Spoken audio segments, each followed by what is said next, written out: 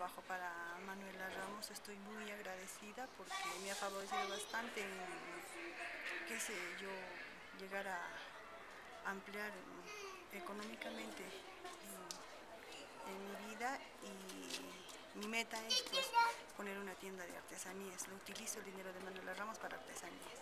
Entonces espero que de aquí a un buen tiempo se me cumpla este sueño. Agradezco a los que patrocinan Manuela Ramos, que es una gran ventaja, en particular para mí.